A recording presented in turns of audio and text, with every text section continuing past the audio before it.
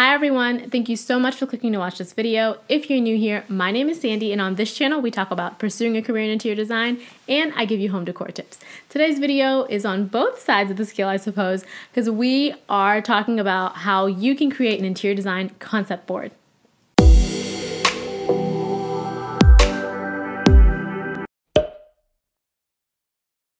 This is my concept board that I presented to my friend recently. She is an influencer like myself, and I'm going to be doing her space. We're really excited. We're doing her entryway. If you follow me on Instagram, then you've probably already seen my Instagram reel about this, where I went and I measured her space and I showed you the entryway and all of that.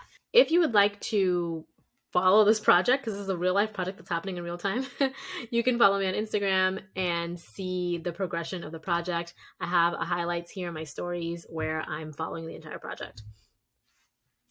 Now that we have that intro, let's get into the entryway.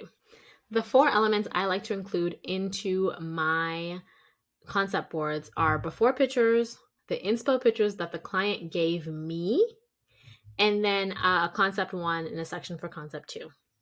So the reason I like the before pictures, um, the reason I want to go into the before pictures here, I split up into four sections, is I want to be able to reference back to the things I want to change. And I love how in Milanote, this program, I can endlessly scroll. So I can just scroll right back. I can scroll sideways, which I really appreciate. As opposed to boards like this, it's usually just like in a PowerPoint and it's one sheet. And I can't continuously scroll. I have to like go to another sheet and go to another sheet. I don't really like that. So here, I like to include their before pictures. One, it's helpful for me as I'm creating the concept. I want to be able to see, oh, okay, um, I want to change this light. I this is actually how much space I have in here. This is where the ceiling dips. Seeing these things is very helpful for me. And then when you're presenting and you tell your client, "Oh, I want to change this to that," you can reference what that is because they've seen their house, they know their house, but it helps to just speak your idea when you're doing that. Inspo. I want to have at least two to three images that the client shared with me that they like. And when clients share inspiration images with you, I would recommend asking be um, minimum three, max five, because you don't want to get too crazy. And always have them explain to you what they like about that image. Because when someone shows you an image, what you like about the image and what they like about the image can be totally different. There was an example where I was doing a bedroom for someone and she sent me these inspiration images and they all had these cool Persian rugs in them. So I recommended one. And then she's like, mm, I actually don't like rugs like this. and I was like, but all your inspiration images have them. And she didn't, she didn't even notice the rug in the photo. Uh, I was like, oh, okay. She just liked how the photo felt cozy and clean and complete. She didn't even notice that that style was in all of the pictures that she sent me. So when people explain to you what they like about an image, then you know what to pick up on from that image versus what you would pick up on in that image. Now that you have your inspo and you have your before pictures, I go into my concept um, and I name it. I like this one. I called it Moody Neutral, and this other one is called Bright Neutral. So you can just name them whatever you want. I like to have something cutesy, and if you can have some alliteration, it helps people remember them better. But I always, again, preamble people by saying, I'm not saying that we're going to purchase these exact items, but I want you to see the mood of what we're going for so I in Moody Neutral, I pull flooring, I pull um, lighting examples, maybe the mirror examples, um, wall texture examples to say, hey, this is what I'm thinking for your space.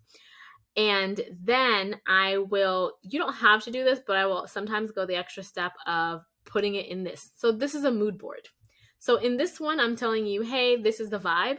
And this one, I'm saying, hey, I'm actually thinking of these exact pieces.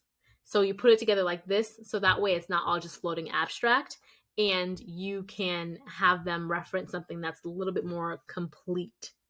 Um, that gives them more visual because not everyone is a visual creative person. They you're I'm saying to somebody, hey, this would go on the floor, and this is the floor that she has right now but she may not be able to like visually see how all of that would sit together. So when you do something like this, it helps them gauge, oh, this goes here, here, here, here.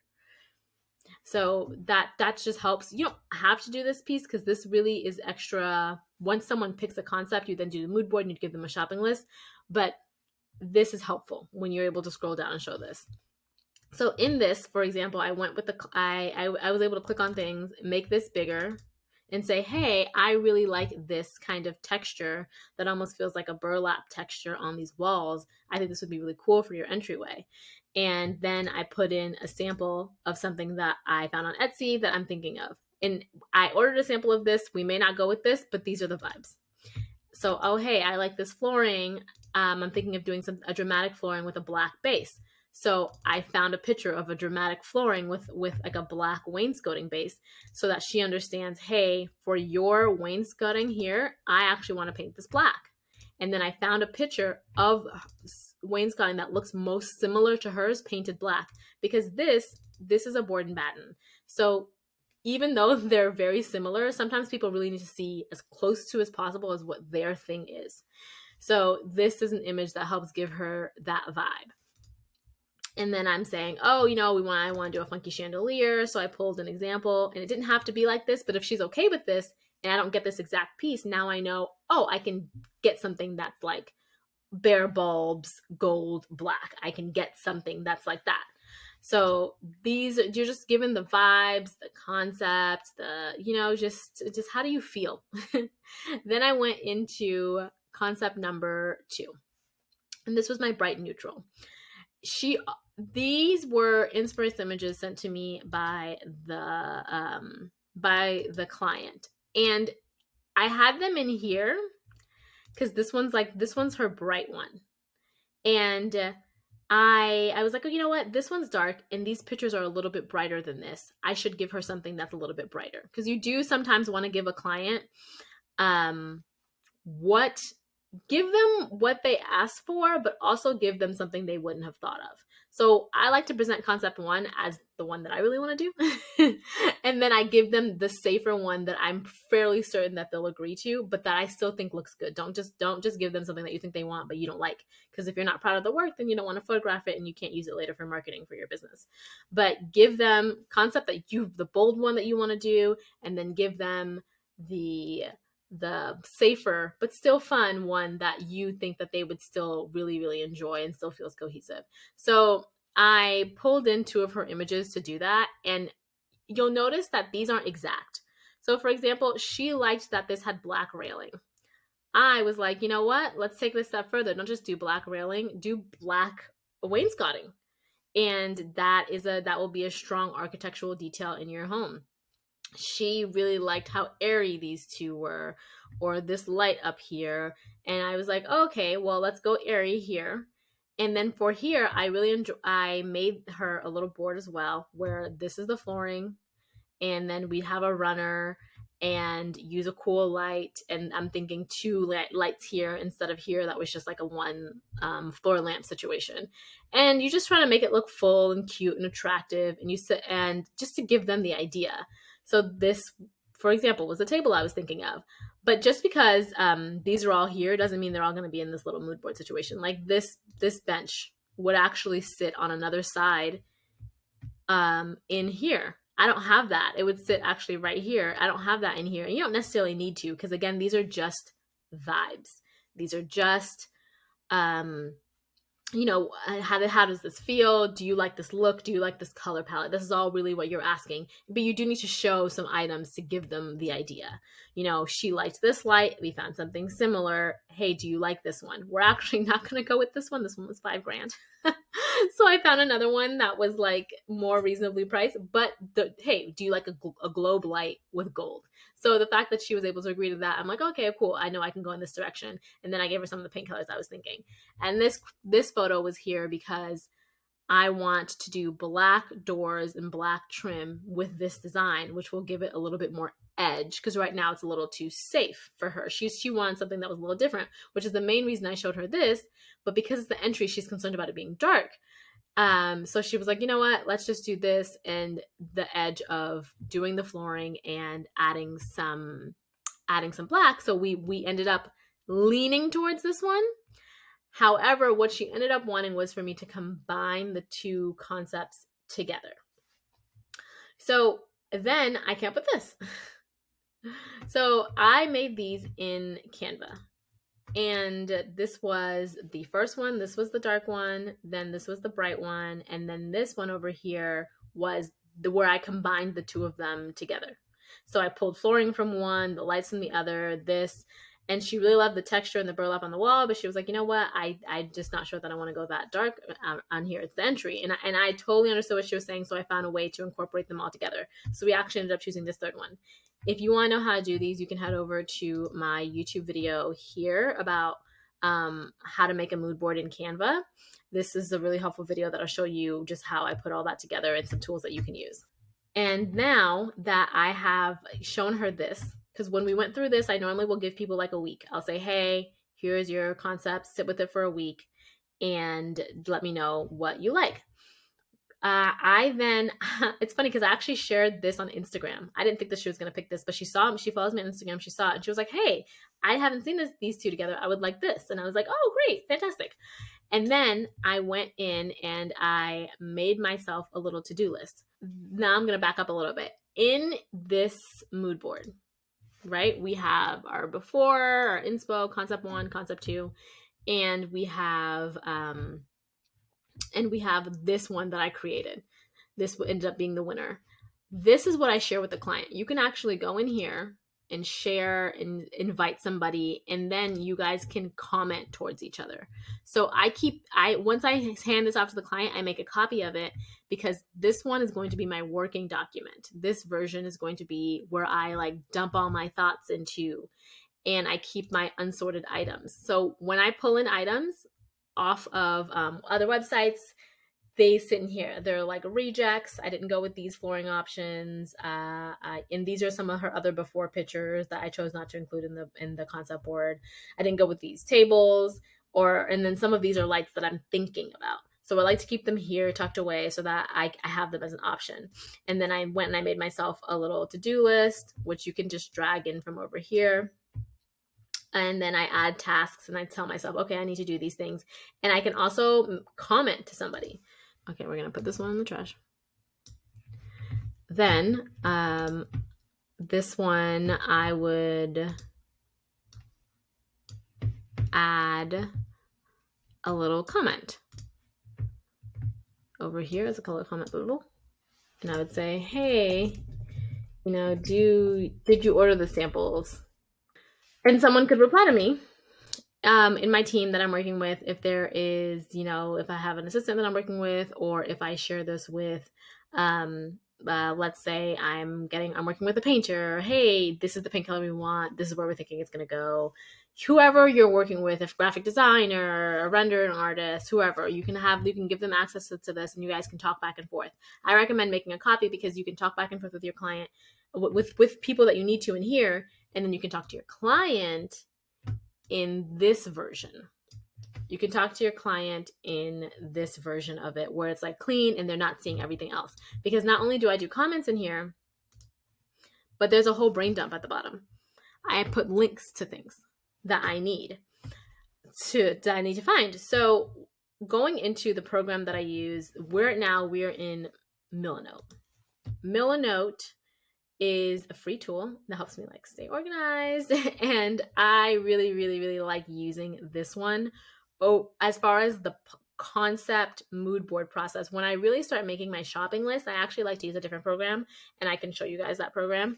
Um, even though you could do it in here too um, if that's easiest for you. But it's just a really cool tool that helps me keep all of my you know beginning stages organized. And i prefer it over stuff like this because main main plus is the continuous scrolling. So I can just scroll here and scroll back like it's all one giant page. And um and I can just like keep scrolling underneath as well. So in this one, in this one, I can just scroll on underneath and find all these and everything is just like easily movable. There's it's not like i'm doing it in word or powerpoint where there's like some kind of rule or justification or line. I can't move it outside of this box. I can't do it out here. And i don't i just don't enjoy that. This is like very free form. It reminds me of kind of doing it in photoshop. Um, for those of us who aren't like photoshop skilled this is a great option. I really um if you see me looking off to the side, I wrote some notes down about what I like about this program. So not only this, but it populates color palettes. So for example, I can go in here and I can click these little three dots and I can pull a color. So it's pulling it's pulling based off everything that's in this mood board. And then I can go and pull another color. And it's going to give me all colors that kind of go together maybe you're just thinking and you're not sure. I really love this. It's just su- suggesting tons of colors to you that all kind of go together. And I really that that's a really um, convenient, especially when you're like trying to pick paint colors and it's giving you all these like hex codes. So this is really cool. You can also sketch in it, which I haven't done and I haven't necessarily used the video format, but this could that could be cool, especially for when I plan my YouTube videos. I also really like the to-do list feature. I'm going to delete these because they're not part of the board. But the to-do list feature, as I've shown you, I really enjoy this. So like this is the entryway to do. And maybe I once I've I've done these. I've ordered samples for things and paint swatches. Then I need to make my list of all the items I need to get and I can check it off. I can I love how every item when you click on it, if you pull at the corner, there's a there is uh, an arrow. So I can actually put hey, this is the mirror I want to get. This though this is an image, I can link to the mirror. I can add something here and just create link. And I can add a link to this mirror so that I, so that I know where to get everything and I can keep it all in here. And then in terms of like creating links, you don't just have to find a link online. You can also clip a link from another website in here. There's a web browser. This is my little web browser here. And I would go onto um, a website. So this is a light that I actually am thinking about for this space, and it's much more reasonable in price than the five thousand dollar one from Circa Lighting. So I can go clip, and it'll clip this, and you can decide which board you want it to go to. So I'm gonna have it go to the entryway and save it. And then we're gonna go here. I have two versions of it. Yeah, there we go. We're gonna go here, and then this is this is the light. So this is the one I actually want to purchase, and this was the inspiration light, but this light was too much.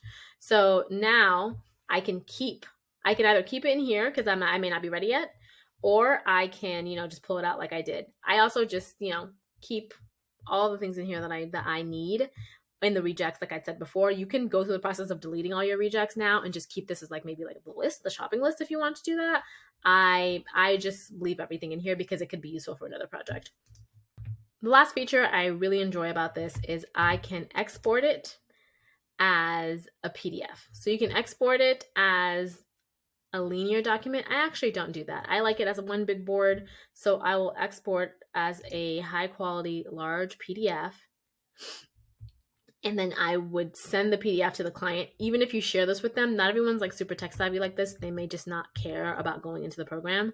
One thing you can do to speed up the process is you can have um, a template. You can go in here and you can create templates. So if I zoom out, you'll be able to see this is the same thing I was just showing you, but it's blank, it's empty, nothing in it.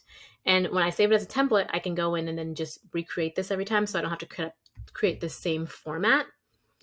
And the way you actually create this, it was super easy. I realized I talked about how I did all the insides, but now how I set up the actual structure. So I just went in, I found a note and I just made a note and I stretched it and then I put, you know, before pictures. Picked the title I like and then I just put it in here and then you can change the color of your card to whatever you want it to be in. So I replicated that and just delete that. And then um I'm trying drag it to the trash. And then you'll also notice if I zoom out, this concept two is bigger than concept um than concept one. And the reason is because I just felt like I needed more things to completely convey the concept a little bit more. So you can change these though. Like I can drag this and make it a smaller size and then I take uh, this arrow or this line and if I zoom out now they're more symmetrical. So don't feel obligated to have it exactly the way I did. I, I like that I can adjust this to what I need it to be which as opposed to the other ones that I showed you before. So this is just all I did. I found all the the lines. I just did a line drag me and then, you know, I just pointed down. And you can also change the weight of it. You can add a label to it if you want to. You can make it double so that the arrow goes that way. You can change the color of it if you needed to make it dotted, if dotted means something different. So, however, you need to customize your concept board, this allows you to do that. And that concludes today's video. Thank you so much for watching. I hope that that was informative. If you have any more questions about Milanote and how I use it and other things, um, let me know because next week's video is going to be about different softwares that designers use for floor planning, rendering, all that project planning kind of stuff. So Milanote is just one of the programs that I am familiar with and that I use. There's a slew of others, and I will share those with you next week. So make sure you're subscribed and have that notification bell going on so that you don't miss it. Remember, Beyonce said, if you like it, put a ring on it. And I say, if you like it, subscribe. Okay, if you like it, then you should have subscribed to it. oh my god, you can't take me anywhere. Um, I just need that ring, and by ring I mean that subscription. Hit down below so that we can be together in matrimony forever and ever. What are you like? Don't be out here playing the field with these other channels. What are you doing? What are you doing? Bye.